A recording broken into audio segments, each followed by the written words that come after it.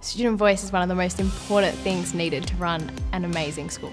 It's important for student voice to exist because uh, students tend to know what they want and why they want it. It's important to have student voice because we need students to say what worries them or what needs improving. As students, we get to choose the electives taught here. We can choose from photography and the arts to technology with metal and plastics.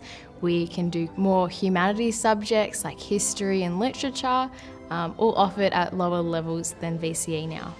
Students can now see what they can do and see like that they can make a change to the curriculum. The students are involved in the school council, the outcomes committee, the student curriculum team. We have a student run newsletter. We have students involved in choosing teachers.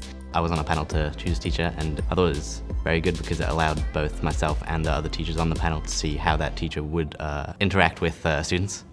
For the teachers to be willing to listen to the students, it makes the students feel more like welcomed and heard. My hope for the future of education is for students to be able to have the electives and the choices and the opportunities available for them to achieve their dream in the future.